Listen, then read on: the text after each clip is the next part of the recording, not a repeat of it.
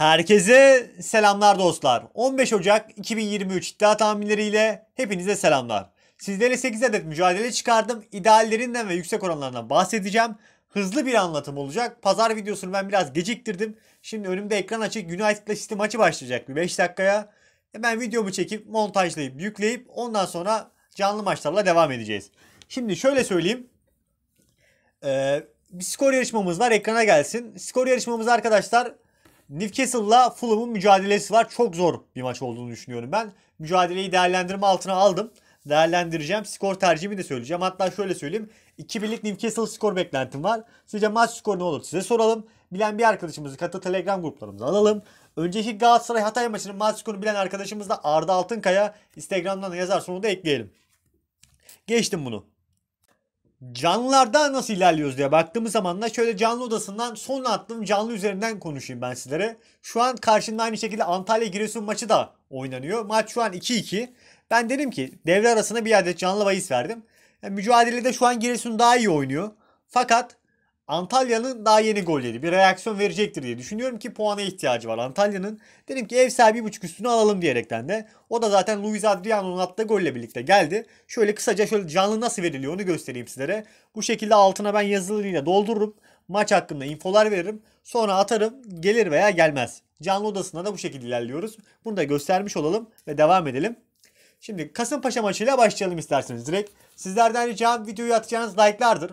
Artı 300 seviyesinde like atarsanız çok teşekkür ederim. Şimdiden herkese bol şanslar. Kasımpaşa ile Karagümrük mücadelesi. Şimdi bu karşılaşmayı muhteşem derbi başlıyor. Dedim sizlere başlıyor diyerekten. Kasımpaşa ile Karagümrük mücadelesi. Karagümrük tarafında önemli eksikler var. Bu önemli eksikler can sıkacak cinsten diyeyim. Borini bu maçta olmayabilir. Bir sakatlığı vardı. Bu maçta oynar mı oynamaz mı maç saati belli olacak sanırım. Fakat Jagne bu maçta yok arkadaşlar. Kart cezalısı. Geçen maç sarı kart görmüştü.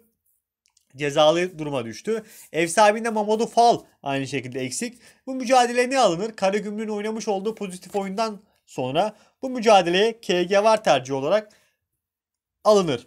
1.30 gibi bir oranı var. Oran çok düşük. Fakat biz bunu nasıl yapabiliriz? Maç beklendiği gibi geçerse ben maçın size indeks beklentisini söyleyeyim arkadaşlar. 3-2'lik Karagümrük galibiyeti bekliyorum. Mücadelede KG var idareden alınabilir. Yanına da sistem kuponuna ilk yarıdan KG var. Neden olmasın diyorum. Bunun da oranı 3-16. İki takımın oynamış olduğu oyun zaten yüksek seviyede tempo var. Pozitif futbol var. Var tercihleri gol yönünden değerlendirmeye e, yapabiliriz diye düşündüm. Newcastle'la Fulham mücadelesi. Yine güzel bir karşılaşma. Fulham gerçekten yani oyunun hakkını veriyor. William'la Wright'la birlikte kanatları çok etkili kullanıyor. Geçen maç Mitrovic yoktu. Geçen maç Mitrovic yoktu. Kart, cezalısı, kart cezalısıydı. Bu maçta Mitrovic de var. Bilginize Newcastle zaten kendi evinde taş gibi takım ki liderliği oynayan takımlardan bir tanesi Newcastle takımı. Ve şunu söyleyebilirim. Önümüzdeki 5 yılda yani Premier Lig'de Big Six var ya onların ha, Big Seven mi olur bilmiyorum artık ne olur da Newcastle o başlara girecek gibi gözüküyor. Hem yapılanması hem de doğru adımlarla birlikte güzel bir şekilde takımdan verim alınıyor. Ben burada da VAR tercihini aldım arkadaşlar. 1.62 gibi oran var. Skor beklentimde sizlere de sorduk zaten. 2-1'lik bir Newcastle galibiyeti bekliyorum. O yüzden burada yüksek orandan da tek farklı 3.28 gibi orandan tek farklı Newcastle galibiyeti de neden gelmesin diyorum bilginize. Torino ile Spezia mücadelesi. Ben bu maçta Torino'yu iki maçını seyrettim. Zaten lig maçını izlemiştim. Canlısını yapmıştık. Hatırlayın herkes açık gruba da atmıştım. 1.88 gibi olandan ilk yarıdan Torino atar diyerekten değerlendirmiştim. Aldık canlısını. Milan maçı vardı. Kupa mücadelesi. Mücadele uzadı. Ben o maçta ne demiştim? Torino'nun atacağı bir gol. 1.47 gibi oranı vardı. 90 dakika içinde atamadı. 120'de atıldığı için 117'den 116'dan mı ne gol geldi. Milan'ı devirmeyi başardı ama kupada. Burada kendi evlerinde Spezia ile oynayacaklar. Ben burada bir Torino galibiyeti bekliyorum açıkçası. Son haftalarda iyi bir futbol var. Doğrudan maç sonu biri sizlere öneririm. Oran yükseltmek isteyenler 4.5 altına 3.5 altına şeklinde yapabilirler. Çok fazla gol çıkmaz. 2 birlik beklenti var zaten. Onun dışında ben bir de şöyle bir öneri yapmak istiyorum. İlk yarıda ev sahibi 0.5 üst yani Torino'nun ilk yarıda atacağı bir golle 1.60 bandında oran var. Çünkü ilk yarılarda baskılı oynayan bir Torino takımı olduğu için bence ilk yarıdan da gol bulma ihtimali var Torino'nun. Gaziantep Fenerbahçe mücadelesi. Fenerbahçe'de ufaktan şey var. Yani sosyal medyada bakıyorum Fenerbahçeli taraftarlar ufaktan bir su, suları kaynamaya başladı diyebiliriz açıkçası. Fakat Fenerbahçe ne olursa olsun çok güzel oyun oynuyor. Bizlere oyun sergili izletebiliyor açıkçası. Bunu çoğu takım yapamıyor Süper Lig'de. Fenerbahçe'nin pozitif oyunu bence devam edecektir. Aynı şekilde derbide kaybetmiş olabilirler fakat derbi sonrası yapılan konuşma, Jesus'un takımı toplaması vesaire derken bu maçta reaksiyon gösterirler. Ben burada Fenerbahçe'nin atacağı 2 golü zaten direkt ideal olarak önerebilirim sizlere. 1.45 gibi oranı var onun. Fenerbahçe burada eksiği şu onu söyleyeyim sizlere. Eksi İrfan Can'ın bir kart cezası var. Zaten yedek başlıyordu. Joe Pedro'nun sakatlığı devam ediyor. Ev sahibinde de Abdülkadir Parmağan sakatlığı devam ediyor. Bunu aldıktan sonra Fenerbahçe'nin 2 golünü aldıktan sonra ben bir de 2-0-7 gibi orandan burada 2.5 üstünde 2. Gaziantep'te bir tane atabilirse maçın skor beklentisi zaten 3 birlik. Fenerbahçe galibiyeti 2.5 üstünde 2 de 2-0-7 gibi orandan yüksek oranıyla değerlendirme altına alınabilir. Tottenham'la Arsenal mücadelesi. Normalde Arsenal'ın kendi evinde olsaydı gözüm kapalı burada Arsenal tarafına yönelebilirdim açıkçası. Fakat Arsenal deplasmanda ve hep şu şöyle oldu. Ee, yani Tottenham'ın kendi evinde oynadığı maçlarda Arsenal'a şansı her zaman tutmuştur. Hatta kendi evinde oynadığı son 5 mücadeleye baktığımız zaman da Arsenal'a karşı Tottenham'ın e, 4 tane galibiyet bir tane de beraberlik olduğunu görebiliriz zaten. Çünkü ya bu iş böyle. Bazen bir takımın bir takıma ters gelir, kimyası tutar. Tottenham'ın o özgüveni de olur. Ona göre bir futbol sergiler. Fakat son dönemde oyundan oyuna baktığımız zaman da tabii ki Arsenal'ın burada önde olması çok normal bence. Favori gösterilmesi de normal. Ben idealden var tercihini aldım burada. Herhangi başka bir yüksek oranda yapmadım. Arsenal tarafına git dedim yemedi. Çünkü dedim ya Tottenham'ın şansı tutuyor diyerekten de Arsenal'a karşı. İdealden var alırım. Keyifli bir şekilde izlerim bu mücadeleyi. Benfica ile Sporting Lisbon mücadelesi. İddia bu iki maçın oranını açmamış. Öncelikle onu söyleyeyim. Porto maçını aldım. Benfica maçını da aldım. Fakat Avrupa'da oranlarına baktım. Avrupa'da Benfica'nın burada galibiyet oranı 1.80 gibi oranı var. Muhtemelen burada 1.65, 1.62 seviyesinde bir oran olacaktır Benfica'nın. Benfica kendi evinde inanılmaz oynuyor ve bu sezon yani şampiyonluğu zaten bence en büyük adayı alıp götürecek oynamış oyna, oynamış olduğu oyunda da bunu gösteriyor. Gerek Şampiyonlar Ligi'nde gerek de ligde oynadığı oyunda zaten son maçını izledim 1-0 bitti. Ama mücadele 6-0 bitecek gibiydi mesela anladınız mı?